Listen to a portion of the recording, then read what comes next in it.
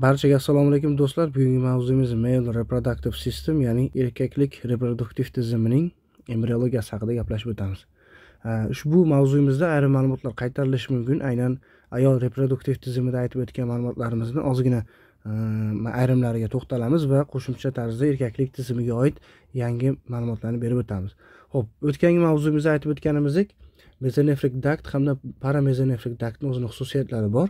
Paramezonefrik dakt bu ayollik reproduktiv tizimini shakllanishga ishtirok etadigan tuzilma mezonefrik daktimiz esa erkaklik e, reproduktiv tizimini hosil qiladigan tuzilma hisoblanadi. Va shu bilan birga paramezonefrik dakt ayollar e, tizimini shakllantiradida erkaklarda nima bo'ladi? Degeneratsiyaga uchrab ketadi. Mezonefrik dakt esa ayollar reproduktiv tizimini shakllanishida nima bo'lar ekan? E, degeneratsiyaga uchrab ketadi.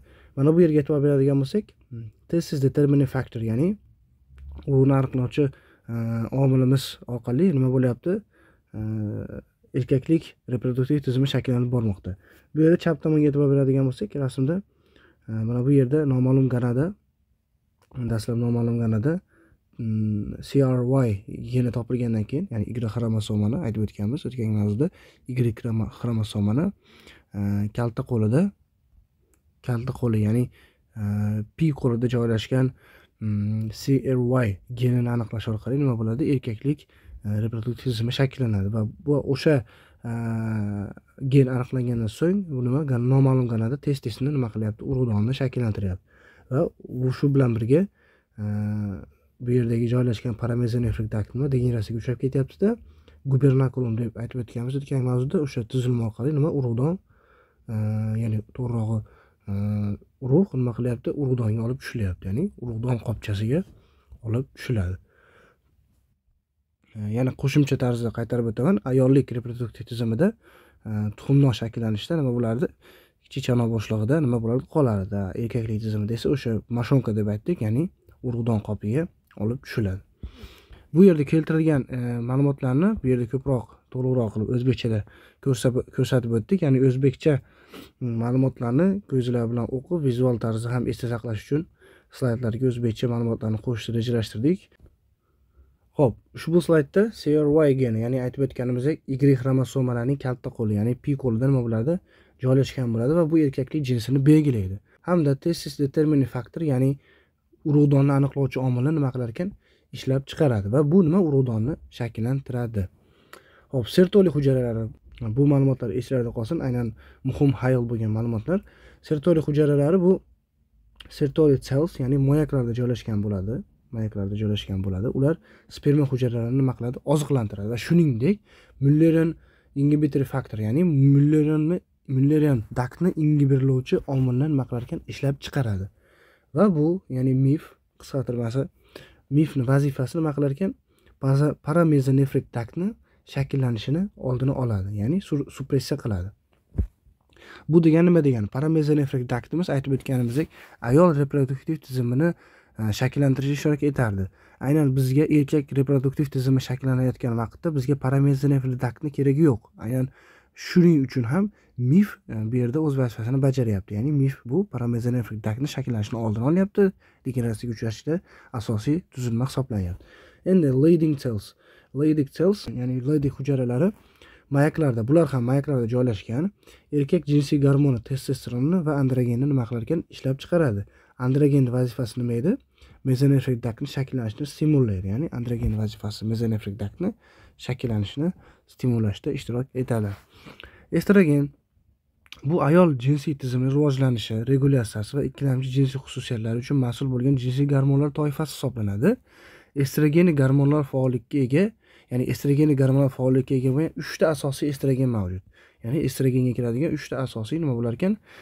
Estrogenlarimiz mavjud bo'ladi bular estron estradiol va estriol.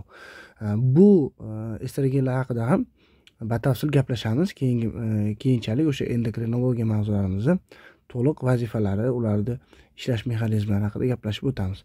Endi testosteronga to'xtalamiz. Bu nima? Erkaklardagi jinsiy gormon hisoblanadi va moyaklar hamda prostata kabi erkaklarning reproduktiv to'qimlari rivojlanishida nima asosiy rol o'ynaydi? Shuningdek mushak va suyak massasini ko'payishi tana tuklarini o'sishi va e, bundan tashqari ikkilamchi jinsiy xususiyatlarni nima qilar ekan rag'batlantiradi. Ho'p besh alfa reduktaza degan fermentimiz bor. Mm, buni ham bilishinglar kerak. E, hozir keyingi slaydga o'tishdan oldin aynan ushbu barcha qismlarga to'xtalib o'tyapman tushunishinglar uchun. Besh alfa reduktaza mm, bu ferment hisoblanadi va steroid almashinuvida nima qiladigan ishtirok etadi. Ular uchta metabolik yo'lda ishtirok etadi. Ya'ni aynan besh alfa reduktaza uchta metabolik yo'lda ishtirok etadi. Bu o't kislotasi biosintezida androgen hamda estrogen metabolizmida nima qilar ekan ishtirok etadi. Va bu ferment nima? Testosteronni digidrotestosteronga aylantiradi. Va bu juda ham muhim hisoblanadi. Chunki digidrotestosteron bu e, testosteronga qaraganda kuchliroq namoyon bo'ladigan garmon hisoblanadi. Aynan digidrotestosteron tashqi e, erkaklik jinsiy organlarini shakllanishida muhim ahamiyatga ega. Digidrotestosteron bundan tashqari ya'ni prostata bezini shakllanishi uni funksional faoliyatini ham nima qilar ekan kuchaytirib turadi. Digidrotestosteron aynan e, shuning uchun ham digidrotestosteronning faoliyatini kamaytirishda besh alfa reduktazani bo'g'uvchi ayrim ayrim e, dorilar bor. Buni maqsadi mana bu yerda ko'rsatib o'tganmiz. Besh alfa reduktaz ingibitorlari deyiladi. Ya'ni bu digidrotestosteron bloklovchilari bular nima uchun kerak? E, e'tibor qilamiz. Aynan kengaygan prostata kasalligi hamda soch to'kilishini davolashda ishlatiladigan anti androgenik ta'sirga ega dorilar sinfi hisoblanadi. Bundan maqsad besh alfa reduktazani faoliyatini kamaytirib prostata bezini e, funksional jihatdan ortib ketib uni e, hajm jihatdan ham funksional jihatdan ham ortib ketishini oldini olish alfa besh alfa reduktazani vazifasi aynan prostata bezini ham funksional jihatiga ta'sir o'tkazardi. Shuning uchun ham besh alfa reduktazani kamaytirsak testosterondan digidrotestosteronga aylantirish kamayadida va shuning bilan birga prostatani e, hajm jihatdan va funksional jihatdan faoliyati ma'lum darajada sekinlanadi va bu bilan birga nima bo'lar ekan? Prostata kasalligini nima qilishimiz mumkin? E, kasalligini oldini olishimiz mumkin bo'ladi. Bundan tashqari aytib o'tganimizdek testosteron vazifalariga ya'ni ikkilamchi e, jinsiy xususiyatlar ya'ni tuklarni o'sishi butun tana bo'ylab tuklarni o'sishiga ta'sir qiladigan testosteron hamda bundan tashqari sochni to'kilishiga ham sabab bo'ladi. Shuning uchun besh alfa reduktazani ingibirlasak biz nima qilamiz ekan? Sochlarni to'kilishini ma'lum darajada kamaytirishimiz mumkin ham bo'lar ekan. Ho'p keyingi slaydga o'tamiz. Aynan bu yerda mm, noma'lum gonadani ayol va erkak reproduktiv tizimini shakllanishda fermentlar ishtirokida tuzilmasini nima qilamiz? Chizib o'tamiz.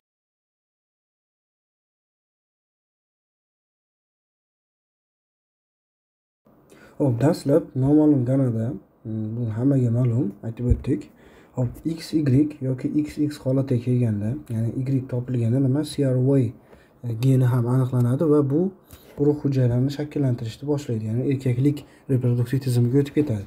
E, no cry geni bo'lganda ya'ni cry geni bo'lmaganda ya'ni y e, xromosomasi topilmaganda bu x x holati kuzatiladi va tuxum hujayraga nima bo'ladi?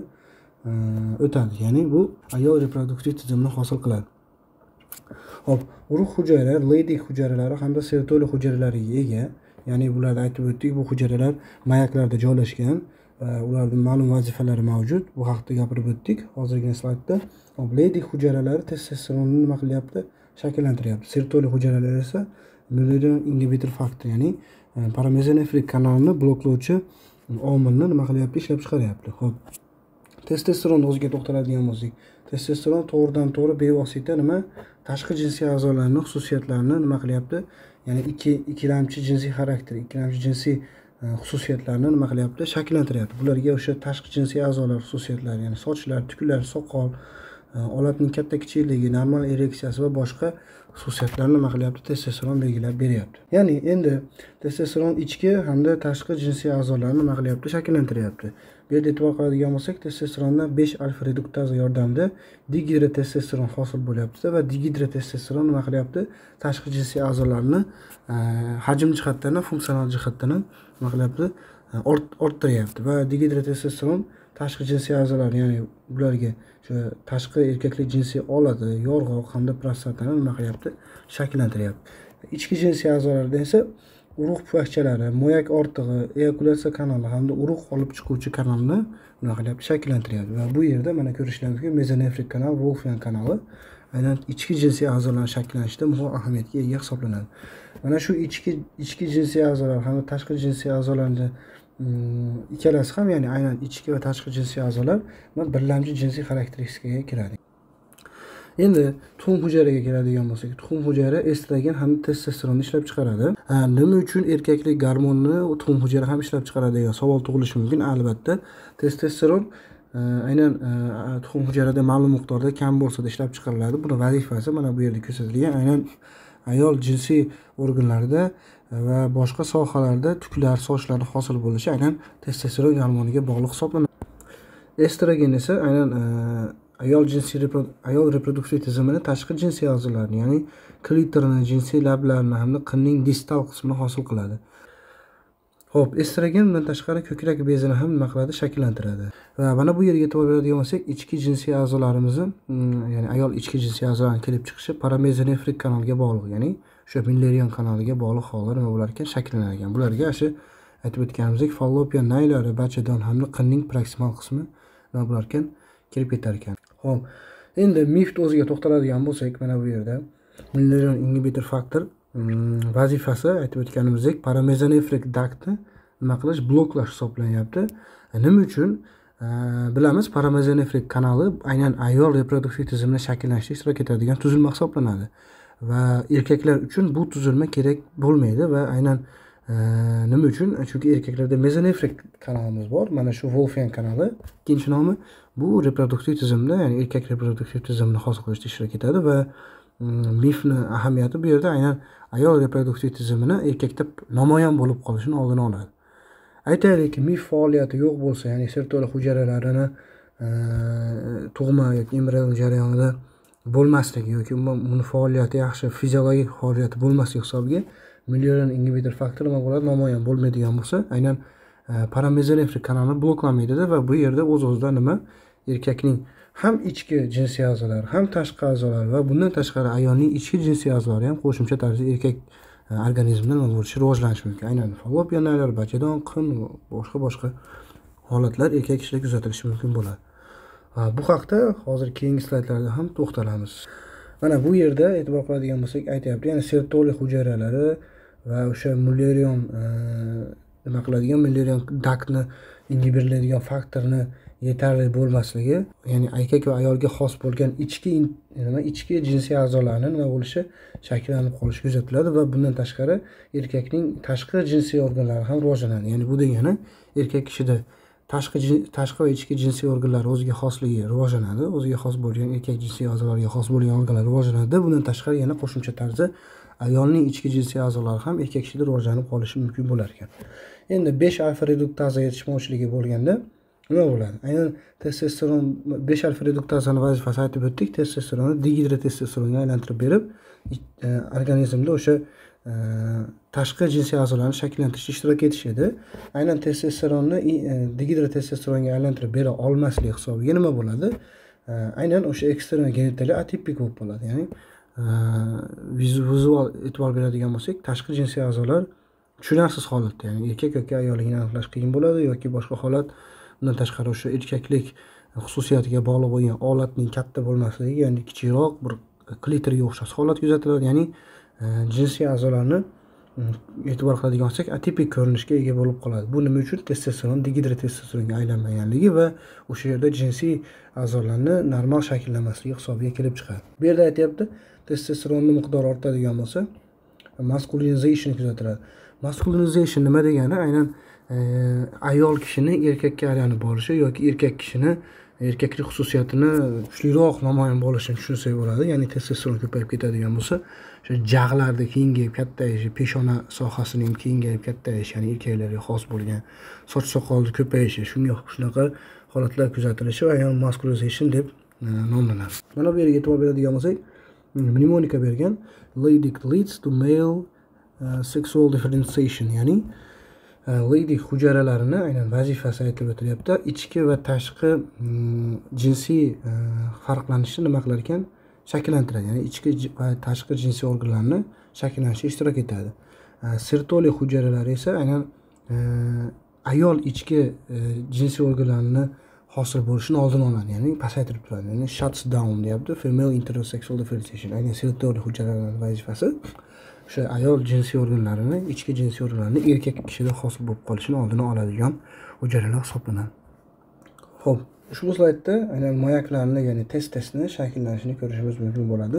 Aynan dastlab o'sha mezoderma kelib chiqishga ega deb aytdik. Reproduktiv tizim ham aynan intermediate mezodermadan urogenital rich hosil bo'ladi. Qayta qayta aytyapmiz bu bu gapni aynan urogenital rich ya'ni urogenital tizimchamizdan gonadal rich ya'ni gonadal tizimni hosil qiladi. Va bu yerda e'tibor beradigan bo'lsak beshinchi haftasidan keyin aynan e, moyaklarni shakllanishda gonadal rich give rise to testes ya'ni gonadal richdan keyin esa aynan testesda shakllanishi boshlanadi.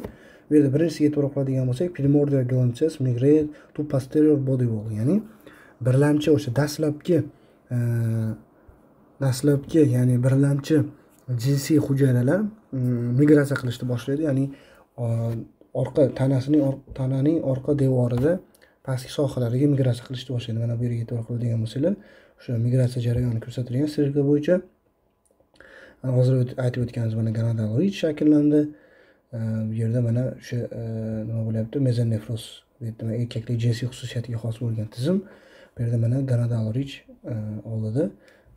Nima bo'lyapti primordial galimchas migratsiyaga uchrayapti.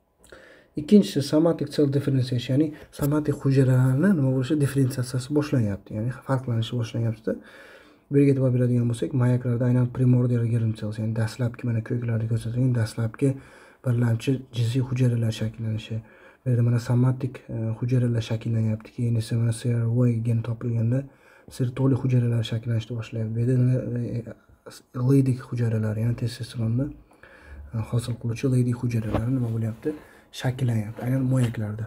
Bu yerda mana testis cord formation ya'ni aynan ehm, moyaklarga xos bo'lgan ipchalar ya'ni tolalar desa bo'ladi ipchalar hosil bo'lishi ya'ni somatik hamda dastlabki jinsiy hujayralarni ehm, solid hujayra ya'ni solid cordni hosil qilish misol keltirilgan mana leydik hujayralari testis cord e'tibor beradigan bo'lsak mana ipcha shaklida mana kortlarni hosil qilyapti.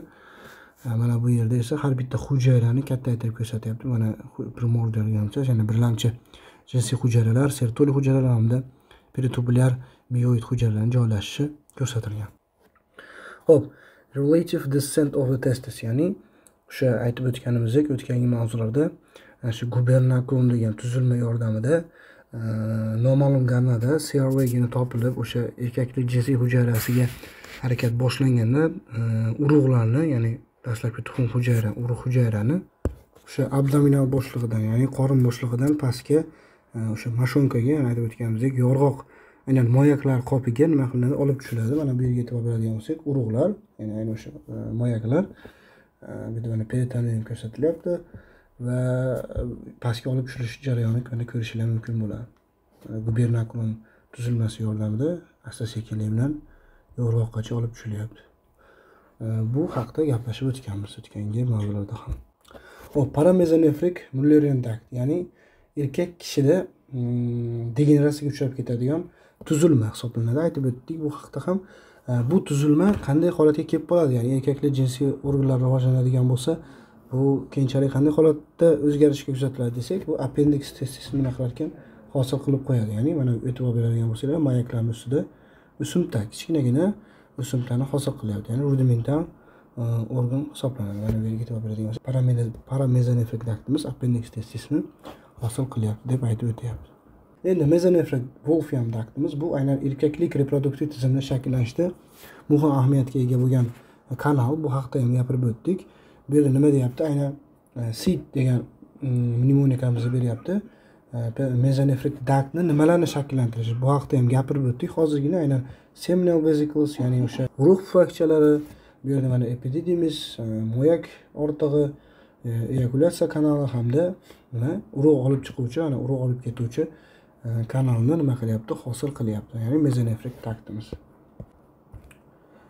hop ushbu slaydga e'tibor beradigan bo'lsak aynan erkak voyaga yetgan erkak kishida Э, urug'ni ya'ni spermani hosil bo'lishi ya'ni o'sha e, spermani yo'li ko'rsatilgan e, seven up degan mnemonika beryapti. Esinglarda qolsin o'sha mana shu e, seven up.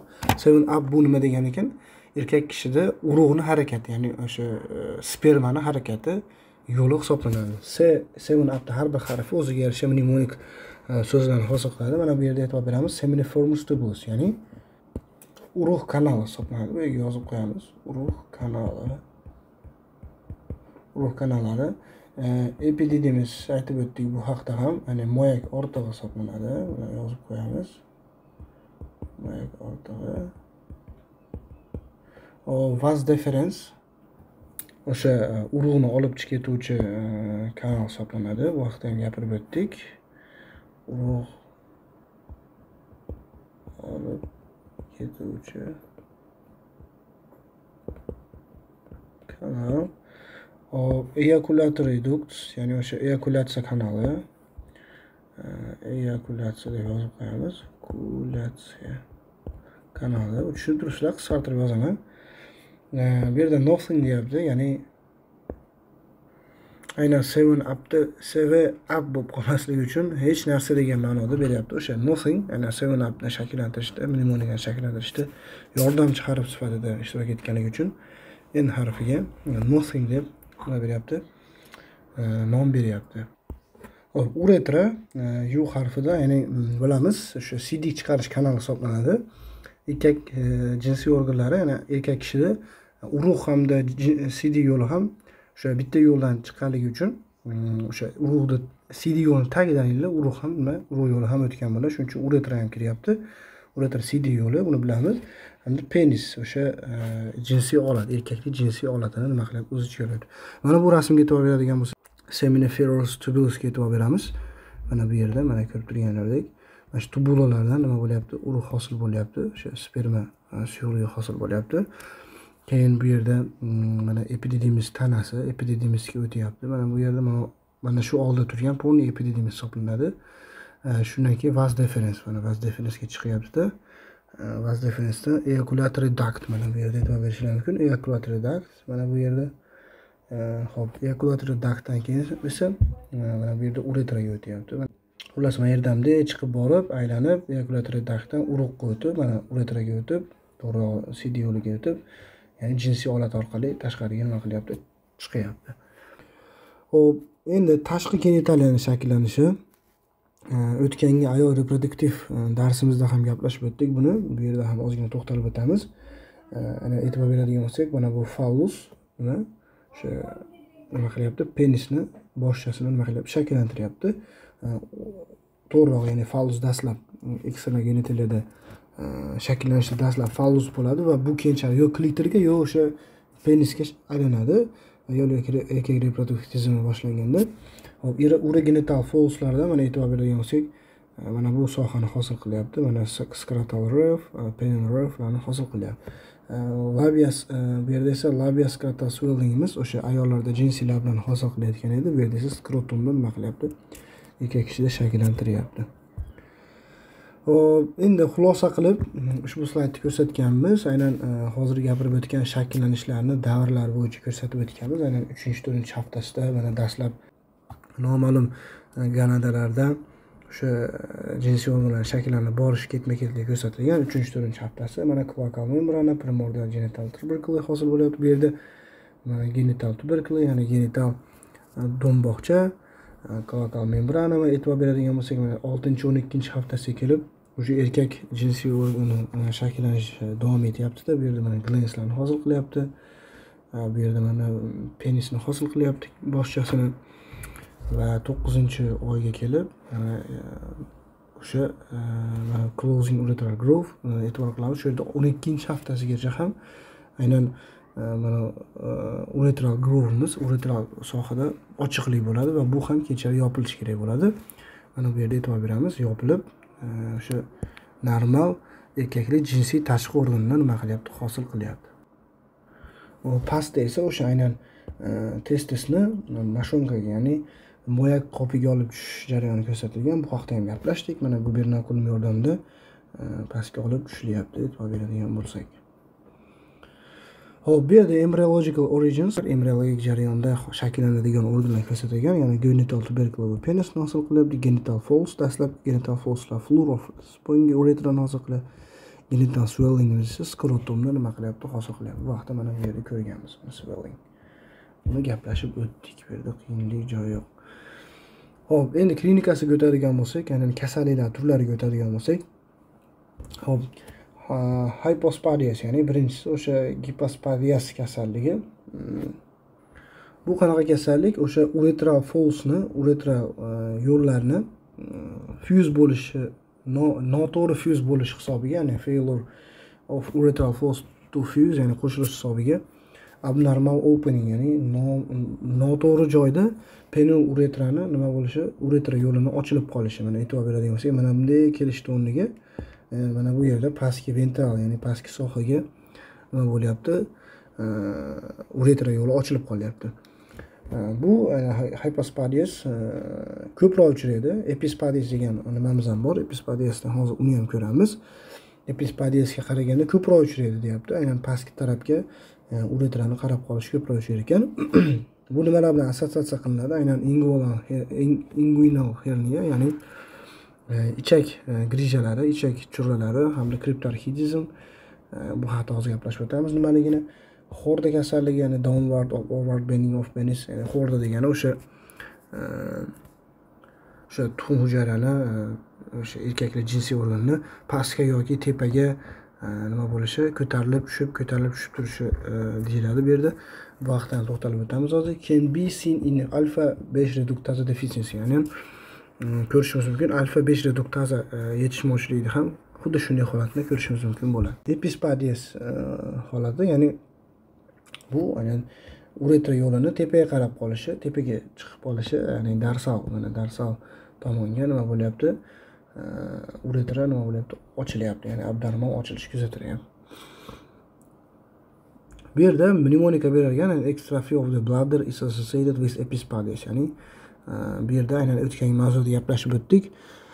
Huquqni ya'ni e, arish tizimiga a'zo bo'lgan organlardan biri bu o'sha siydik qopini tashqarida e, shakllanib qolishi ya'ni ekstrofi deb e, tashqarida bladder shakllanib qolishi bilan nima bo'lar ekan epispadias assotsiatsiya qilinadi. Bu yerda mnemonika beryapti. When you have epispadias you hit your e e when you p ya'ni bu yerda kulgiliroq bo'lgan mnemonika aynan e, ko'rganingizda nima e, ayrish jarayonida ya'ni cd chiqarish jarayonida e, hit your e ya'ni ko'zingizga uradi degan ma'noda beryapti. Ya'ni yuqoriga qaraganligi uchun e, shunaqa bir kulguliroq mm, nima mnemonika beryapti. Ho'p kriptarxidizm o'zimiz tilida kriptarxizm deb aytamiz bu qanday kasallik? Ko'p eshitganmiz aynan bola chaqaloq tug'ilgandan keyin ko'pincha aynan urug' hujayra ya'ni mana bu mayaklar e, qaysi sohada joylashganligi qaraladi bu yerda o'n besh foiz abdominal sohada yigirma besh foiz immunal kanalda e, ya'ni high skrotal skrotal yuqori qismida oltmish foiz va bu yerda mana normal holat ko'rsatyapti ya'ni ko'p eshitganmiz e, bola tug'ilgandan keyin mm, moyaklar o'zini qopiga ya'ni moyak qopiga tushmagan ekan bolada degan mm, javoblarni eshitadi ota onalar turiga qarab ya'ni high skorotal bo'ladigan bo'lsa ma'lum muddat kutiladi.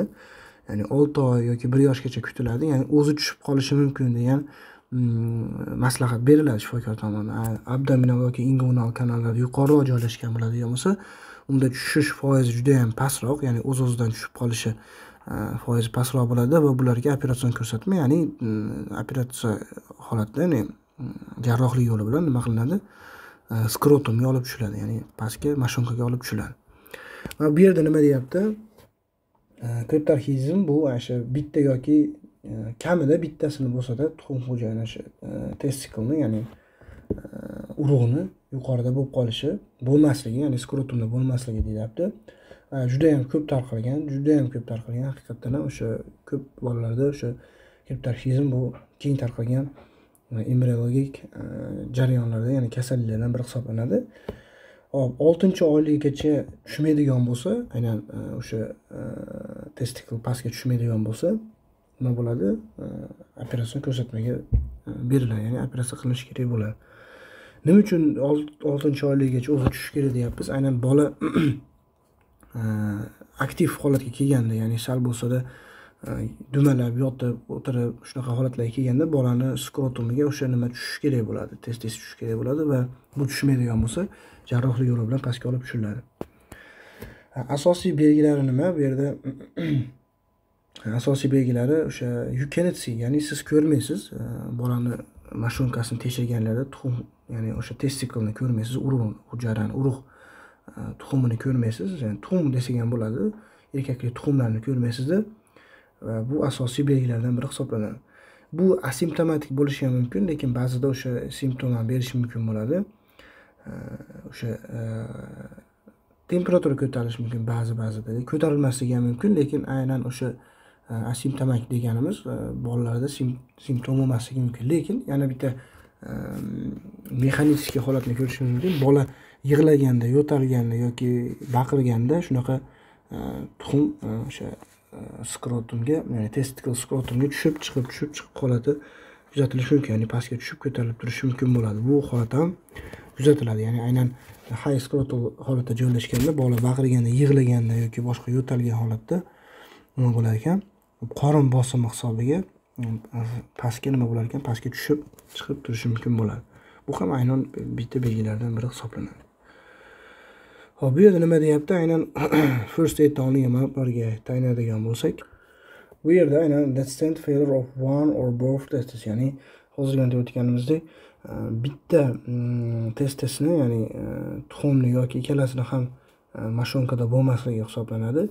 Impair spermatogenesis ya'ni spermatogenez ham ma'lum darajada sekinlashadi. Chunki o'ttiz yetti gradusdan yuqori bo'lmagan holatda nima bo'lar ekan rivojlanadi deyapti. Ya'ni sperm development best temperatures ya'ni spermalarni hosil bo'lishiga zo'r sharoit bu o'ttiz yetti gradusdan baland bo'lmagan sharoit hisoblanadi. Hop ya'ni testosteronni nimasini levelini normal ko'rishimiz mumkin.